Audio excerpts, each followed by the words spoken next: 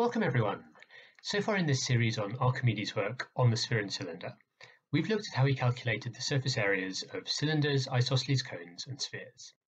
Now we're going to move on to his formula for the volume of a sphere.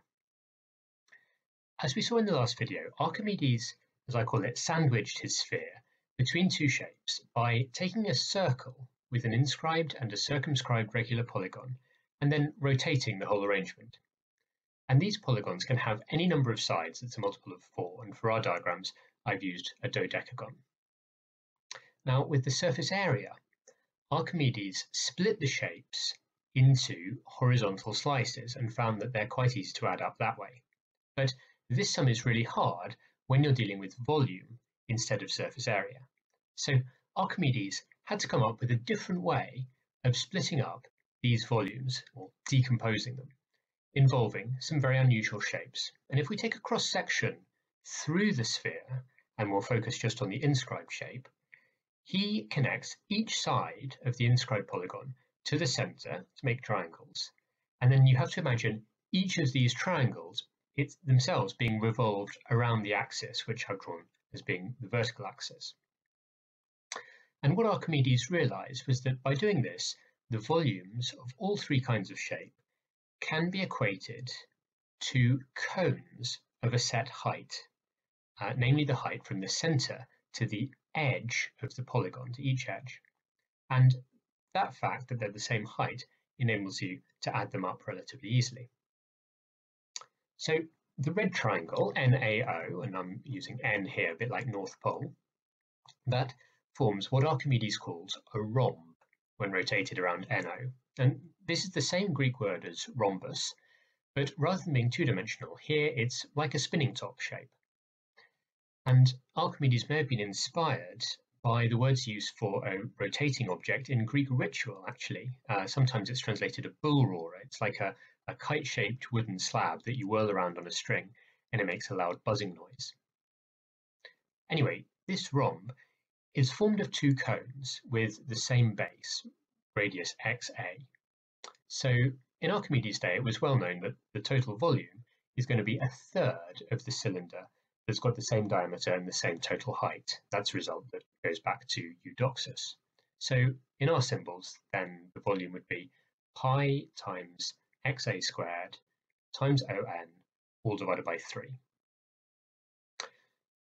The next step is to say, well, triangle OMN is similar to AXN. They're both right-angled and they both share angle n as well.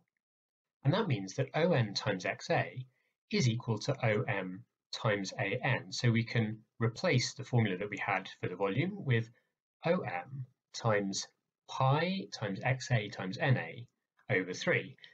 And the reason that that's a useful thing to do is that we actually met things like pi times XA times NA in my last video.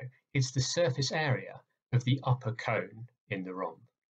So we can say that the volume of the rhomb equals that of a cone whose height is OM and whose base equals the upper outer surface of the rhomb. And in fact, this formula would still hold even if NOA had been 90 degrees and we were dealing with a single cone rather than a rhomb. Nothing we did in the workings there would change. So we could say that cone 1, if you like, is equal in volume to cone 2, where the height of cone 2 is the distance in cone 1 from the centre of the base to its sides, and the base of cone 2 is the surface area of cone 1. What about when we revolve the green triangle? Well, this is the difference between two rhombs, so we can apply what we just saw to equate its volume with the difference between two cones. Both of them have the same height, equal to OM, M is now the midpoint of AB, and the bases are going to be equal to the surface areas of the upper cone in each of the two rhombs that we're considering. So the difference is going to be equal to a cone with the same height, OM, where the base is equal in area to the slice of a cone, the cone slice generated by revolving side AB around the axis. So just like with a rhomb or a cone, again we can say that the volume of the green shape equals that of a cone of the set height that we've been talking about, where the base equals the shape's upper outer surface. And finally, the purple triangle, when that revolves, that becomes like a almost like a volcano crater. And this is effectively a cone minus a rhomb. And I drew your attention to the fact that this doesn't make much difference compared to the case we just looked at with the green triangle. Both the cone generated by triangle n double dash CO and the rhomb generated by triangle n double dash BO, they have volumes equal to cones with height OM and bases equal to the upper outer surface of those respective shapes. So the difference between them, again, is going to be a cone with that height and the base equal to the surface of a cone slice. This time it's the one generated by side BC. So through this nice decomposition of the volume into odd shapes formed by rotating the different triangles around the same axis, Archimedes was able to add up the volume we're trying to measure by using two of those volcano craters, two green shapes, and there would be more, of course, if we had more than 12 sides, and two rhombs. And what it equals is a sum of cones whose height is always this perpendicular distance from the center to the sides of the rotated polygon, which is the same because the polygon's regular. And the bases of those cones, term by term, are equal to the surface area of the horizontal zone in that inscribed figure. So the overall volume of the inscribed shape is going to be less than a third of the radius times the surface area of the inscribed shape, which we saw in the last video, is less than 4 pi r squared. Similarly, if we were dealing with the circumscribed shape, we'd do all the same steps, and we'd find that its overall volume has to be a third of the radius times its surface area. And again, in the last video, we saw that that's more than 4 pi r squared. And now we're nearly done, because as we've seen Archimedes do several times, he can simply reason, well, if the volume of the sphere were anything other than 4 pi r cubed over 3, we could construct either an inscribed volume or a circumscribed one that is so close to the sphere that it will no longer obey these constraints on the values. So the volume of the sphere turns out to be the same as the volume of a cone whose base is the sphere's surface area and whose height is its radius. And I thought I'd just briefly add in a little visualization of this, which I find helpful. Just as you can imagine taking a circle, uh, splitting it into sectors, and if you like, unrolling it into a set of sectors which are very close to triangles with height r, circumference 2 pi r uh, as, the, as the total base. And that helps you to see that the area of a circle must be half the circumference times the radius. You can do just the same thing with the sphere. Divide the surface into little areas, connect them all to the center in uh, a set of sectors, then kind of flatten out the surface, and you'll find that the set of sectors is very close to a set of pyramids where the height is r and the total base is very, very close to the total surface area of the sphere. Anyway, that's not Archimedes' line of reasoning. So let's go back to him. Now that we've seen how he derived both the surface area and the volume of the sphere, we're in a position to look at the title of his work um, on the sphere and cylinder. Why is it called that? Archimedes noticed that when you have a cylinder, including kind of the caps at both ends, and it just neatly contains a sphere, so the sphere touches it on every side. Archimedes noticed that both the volume and the total surface area of the cylinder, including the ends, are one and a half times those of the sphere. Now we've gone through all of the preliminary steps and this isn't too hard, so I'll leave that to you to work through if you if you want to, but it was clearly a result that at the time Archimedes was extremely proud of, and it shows his love of these sort of very neat relationships between objects. Um, he named the whole work after this relationship, and it's one of the big results that he advertised in his introduction.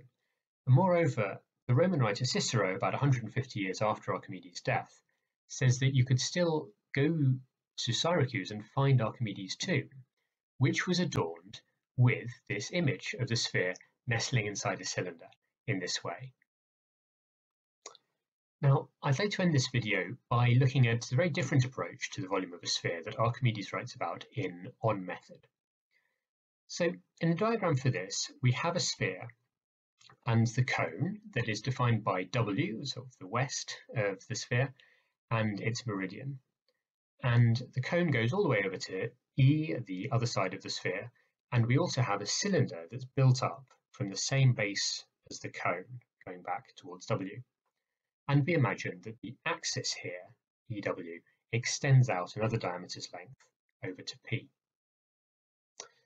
Then we consider a cross-section through this configuration at any given point x on the axis. So by straightforward similar triangles, we can say that WE times WX is WB squared. And then by Pythagoras theorem, of course, WB squared is BX squared plus wx squared. But because of the way we constructed the cone, we also have that wx is the same as cx and we is the same as ax.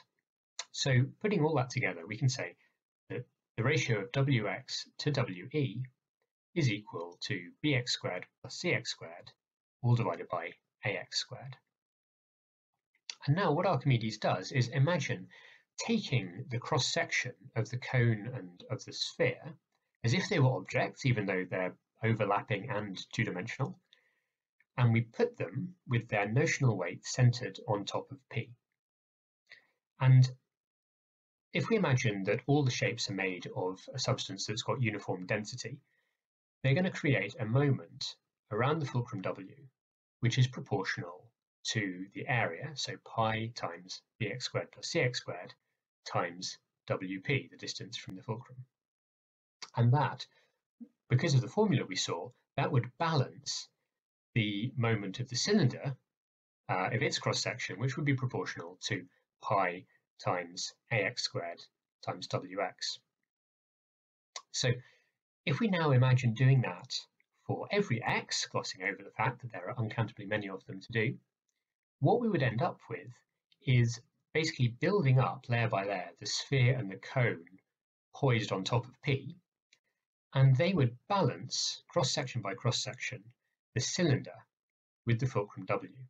If there's balance, that means that the cylinder's volume times the distance to its center of gravity, so the radius WO, would equal WP times the total volume of the cone and sphere. But we know from Eudoxus that the cone is a third of the cylinder that's got the same base and height as it, and so we can work out that the sphere is a sixth of the cylinder, and from that you can again get either the volume for the sphere, if that's what you want, or the relationship between the sphere and that other cylinder that encases the sphere tightly, snugly. Now, as Archimedes makes clear, he didn't consider this really a proof, because it involves pretending that the sphere and cone are a sum of circles which don't have any depth. And he also didn't try and patch up the method by considering, as it were, very thin but genuinely three-dimensional slices. But he did at least point out how helpful this line of thought had been for him in coming up with the various formulas that he later proved geometrically um, for things like the volume of a sphere or its relationship to its cylinder. So that's how Archimedes derives the formula for the volume of the sphere. In the last video in the series on, on the sphere and cylinder, um, we're going to move on to what happens when we start cutting the sphere into parts. So I hope you'll join me for that. And if you've enjoyed these videos, do please point other people towards them. Thank you very much.